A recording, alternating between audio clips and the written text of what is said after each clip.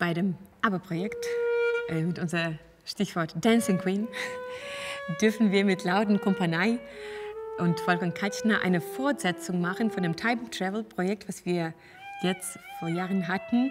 Da ging es um Purcell und Beatles und die beiden Komponisten zu verbinden auf eine Art und Weise mit barocke Instrumente und dem Saxophon, was theoretisch gar nicht passt. Aber tatsächlich hat es erwiesen, dass es sehr gut passt. Und so als Vorsetzung, nun kommt Ramon mit Aber. Und nun werden wir die gleiche Verbindung für uns erforschen.